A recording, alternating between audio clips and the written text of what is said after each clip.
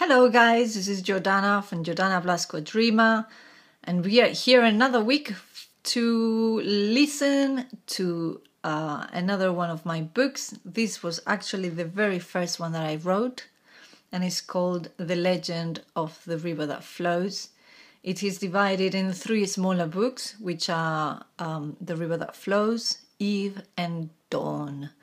And today I'm not going to read the first three chapters because it take, it's a bit slow starting the book. I'm going to read um, a couple of chapters from the very last book, Dawn, um, and it's I, I find it very interesting that bit. And this will be the last of the books I have uh, until the next one. So I hope you enjoy it. Um, and here it comes The Legend of the River That Flows. The chamber was dark, but their accustomed eyes had no problem perceiving all that was around them. It was skilfully carved in a mix of stone and dark glass walls with unusual markings on them. The ceilings were high and transparent. The air was warm and a bit humid. Small balls of a dull blue color started going off as they looked around. Majek was going to step forward when Eve signaled him not to with her hand. She looked around and focused her attention on a small dark stone recess to their left. The wall seemed to be moving like waves on the sea in a slow and mesmerizing dance, then twisting and stretching the wall towards them. The malleable stones were now taking some sort of shape, and a small being finally appeared before them. His large purple eyes regarded them excitedly. Dragging his long, oversized ochre tunic, he moved closer to them. Greetings, Eve, he said, putting his hands together and playing with his long fingers, his sleeves falling to his elbows and showing his skinny arms. His skin had the same texture and color as a stone. I am one of the keepers. He looked at Majek and then back at Eve. I presume you will be perusing the chambers for some time, alone? he asked cheerfully. You presume well, keeper, replied Eve. Majek looked at her, confused. The keeper intervened. I'm afraid that on this occasion I will be your host, Golden One. Eve then looked at Majek and said, our Mother Moon is watching, the universe is speaking, and we must now listen to its words. I have to follow this path, and you have to follow yours. We will meet here again soon, and remember, this is the mountain. Do not think she's done with you. Her grave aspect turned to a cheeky half smile, and she winked at her dad. She started to walk in the opposite direction. Majek was surprised, but no longer troubled, for his mind had also gone through a transformation, the same as his own body. His insecurities had vanished as quickly as the wind sweeps the leaves from the ground. The universe was talking, and he already knew how to listen. He let go. Shall we proceed to this side of the corridor? The keeper asked politely while pointing to the left. Majek nodded, and he followed him in silence, the tiptoe of his little feet and the dragging of his tunic wrapping them in a hypnotic tune. His eyes fixated on the tunic. It was mesmerizing. They walked for fifteen long minutes along the corridor of the mountain, always in a straight line, always seeing what seemed to be an unchanging scene. The keeper was certainly a calm and collected being, unusually cheerful and full of energy. At times it seemed as if he was going to start hopping. Majek smiled to himself. He had not made a joke in years. It felt good inside. They stopped at one of the gla- black glass panels, which he assumed were some sort of gates or doors. We have arrived, announced the keeper. Majek looked at him inquiringly and said, I cannot walk through walls. Naturally, answered the small man. He stood next to Majek and stretched his fragile, bony hand towards him. Please allow me, said the keeper, taking his hand. The grip of the small man was deceptively strong, and he pulled him firmly towards the wall. Majek closed his eyes and felt coldness at first, then sensed his body wobbling as they walked through it. When the keeper let go of his hand, Majek looked around and gasped. He walked backwards and touched the solid wall in a panic, starting to sweat heavily. His heart was pounding relentlessly in his chest. Before him, strong rays of the sun were turning painfully slowly into a sunset. Fear not, said the keeper, staring at him with his large purple eyes, for this landscape is as real as you want it to be. Majek realized that, although he was a special being, he was not supernatural. He closed his eyes tightly. This is not real.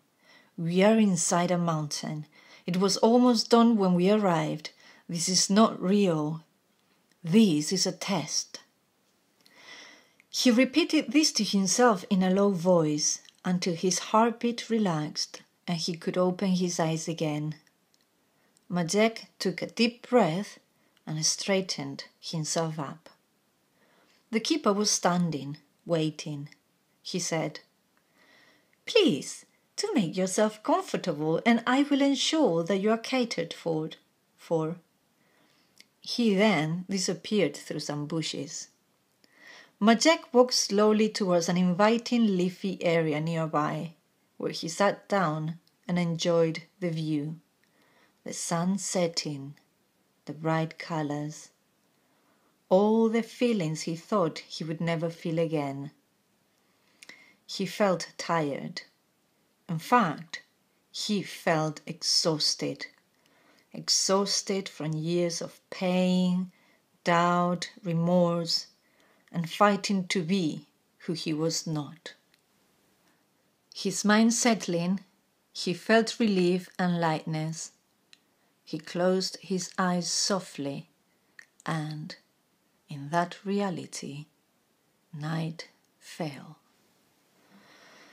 Eve walked for a few meters before looking back and watching Majek walk away with the keeper.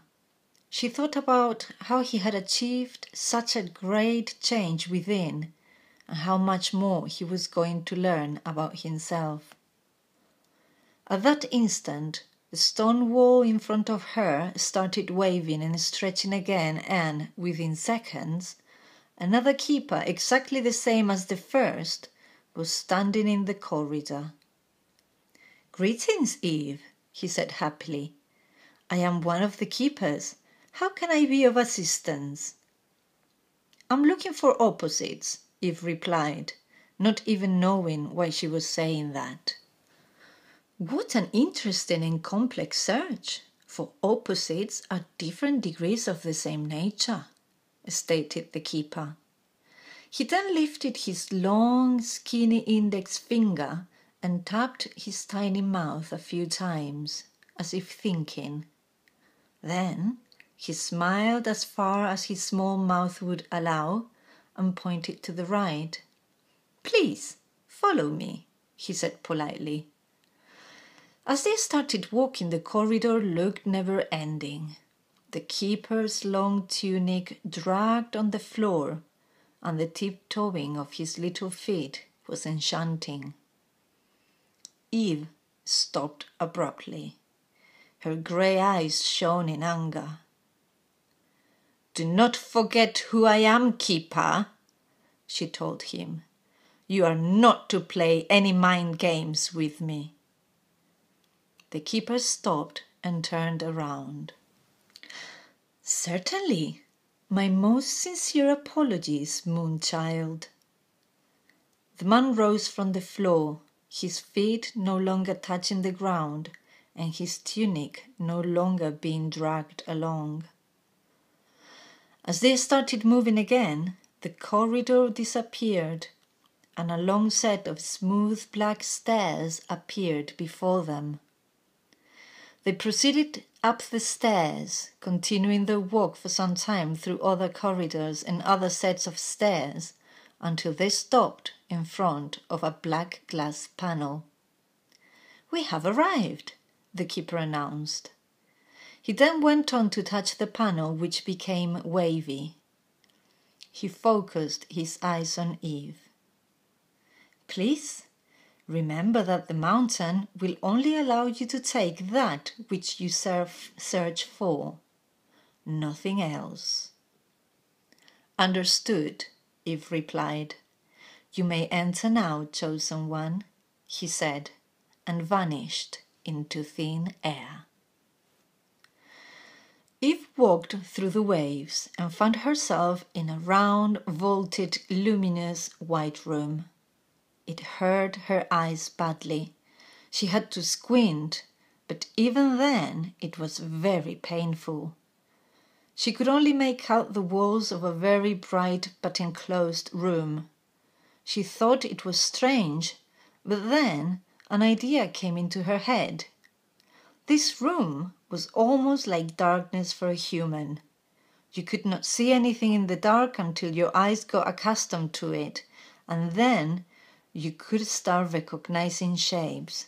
But this time it was the opposite, for she could see in the dark as, in, as if in the daytime. Opposite. So, if a human had to open his eyes and wait until he could see, then she had to do the opposite. The bright light hurt her eyes, so, in order to see, she had to close her eyes. And when she did, she could see the entire room perfectly in a dimmed blue light, as if looking through a blue lens. She started walking around the room. There was absolutely nothing in there, nothing she could see nothing through the walls, nothing around her. She sat down on the floor in the center of the room. She looked up, her eyes still closed, and noticed geometrical designs carved on the ceiling. This is not the floor. She stood up. It is the ceiling. At that moment, the room turned upside down with a screeching noise and Eve rolled with it until she was flat on the floor. Instinctively, she opened her eyes. The light did not hurt her any more as it was pointing upwards now, and she could see the blurry shape of different objects inside the walls, lined up in rows and columns. A shy smile appeared on her face. As she was going to stand up again, Eve accidentally kicked her blue moon necklace, which had fallen from her pocket after the tumble, and it slid along to the middle of the floor. At once, the necklace started leaking its blue color. It began to feel the carved lines on the ground, and these, at the same time, started gleaming. A beam of blue light shot from one of the corners into the opposite wall and, with a bang, made a hole in it, and she saw an object falling to the ground immediately after. Eve went to check what the object was and found a thick collar with a large gold pendant of the sun disk, beautifully worked and gracefully styled. She had no doubts. She had what she was meant to find. There and then she grew up into a young woman her onyx skin and the unusual look in her grey eyes gave her fearsome poise. She picked up her moon necklace from the floor and walked out. Well, this is it. Thank you so much for listening to these three chapters of the last book, Dawn, which is inside the legend of the river that flows. If you want to know how the story started and how it developed, uh, I will put the links on the description area, and uh, if you're interested, you can go into it and check it out. Um, and as usual, I hope you enjoyed those those short chapters and we'll end up the video with a funny joke as usual, but this time will not be a deer joke. Um, this one is a number joke. So this time uh, we have this question Why nobody likes seven? If you don't know the answer, as usual, don't Google it. Uh, have a guess, put it in the comments, and if you know the answer, put it in the comments too. Uh, the question is again why nobody likes number seven. Anyway, thank you guys. I don't have any more books uh, to read uh, at the moment. That's all what I have. Four books. I will be writing my fifth one soon. If you have any suggestions on what to change on the videos or what you would like to see, please, please feel free to comment or and also follow us on Facebook if you want to. Um, subscribe, like, etc., etc., etc. All the things that you already know what to do, how to do them. Uh, thank you so much. Thank you for your attention. Um, uh, and uh, we'll see you soon, hopefully. And be a dreamer. Always, always, always dream big. Bye.